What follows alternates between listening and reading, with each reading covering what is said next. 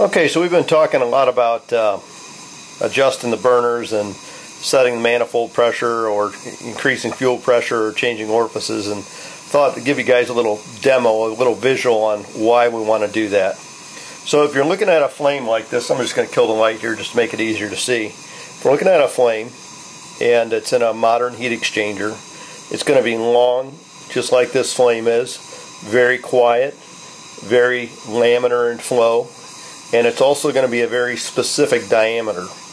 And the reason that the manufacturer does, does it this way is so that it's because the heat exchanger transfers the majority of its heat by convection in a modern furnace. Older furnaces, the heat exchangers transmitted primarily by radiation. So as, um, today it's done differently.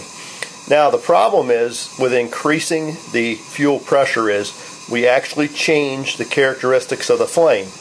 So as I, I'm going to increase fuel pressure to this, and as I increase pressure, you can see the flame starts to shorten, and it's also getting fatter. And as that flame gets larger and larger, right, what we're doing is we're effectively changing the characteristics. And what we're going to get is we're going to get that heat that flame too close to the heat exchanger. And as we cut that distance in half, we increase the heat transfer at that localized area by a factor of four.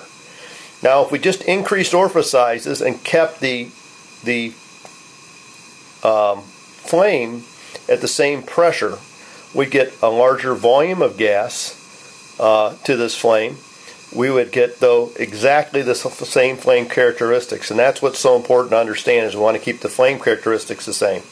So that's why we adjust orifices and then we only have a small adjustment in the manifold pressure so that we can actually uh, get flame characteristics that are ideal for the heat exchanger. If you ever look down inside the tubes you'll see there's a clearance there around that around that flame probably an eighth of an inch to a quarter of an inch. And that is necessary so that the heat exchanger doesn't fail in that localized area.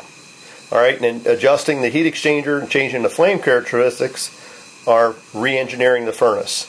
And when we re-engineer the furnace, we're going to get a failure. So that's all I wanted to show you.